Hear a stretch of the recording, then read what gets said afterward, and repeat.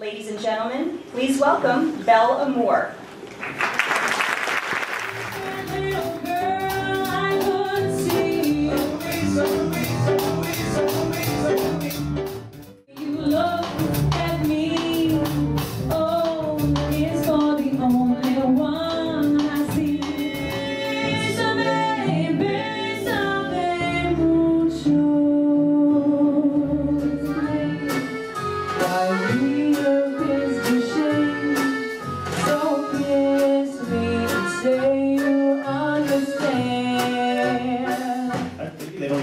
Probably, because Oh, Kate and I are married. We're married. Uh, we're- we're a couple.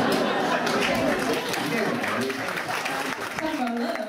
Yeah. We've married for about five and a half years, so the, the songs still have a lot to do with love at this point.